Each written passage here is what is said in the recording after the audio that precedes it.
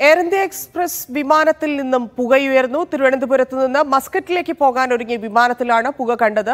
Railway ക്ഷമിക്കണം റൺവേയിൽ നിന്ന് ഉയരാൻ പോകുന്നതിനിടെയാണ് പുക കണ്ടത്. വിമാനത്തിലുണ്ടായിരുന്ന നൂറ്റി നാൽപ്പത്തിരണ്ട് യാത്രക്കാരും സുരക്ഷിതരാണ്. ആർ ബി സനൂപ് ചേരുന്നു. സനൂപ് എന്താണ് സംഭവിച്ചത്?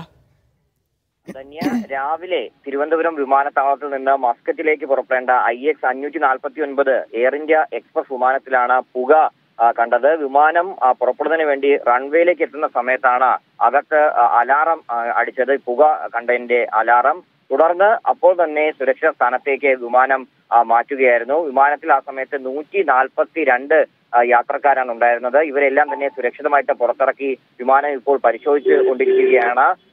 നിലവിൽ ഈ വിമാനം ആണോ അത് മറ്റൊരു വിമാനത്തിലേക്ക് യാത്രക്കാരെ കൊണ്ടുപോകുന്നതിൽ സ്ഥിരീകരണം വന്നിട്ടില്ല. നിലവിൽ എയർ ഇന്ത്യ എക്സ്പ്രസിന്റെ ടീമും എയർപോർട്ടിലെ ടെക്നിക്കൽ ടീമും വിമാനം പരിശോധിച്ചുകൊണ്ടിരിക്കുകയാണ്. ധന്യ. ശരി സനൂപ്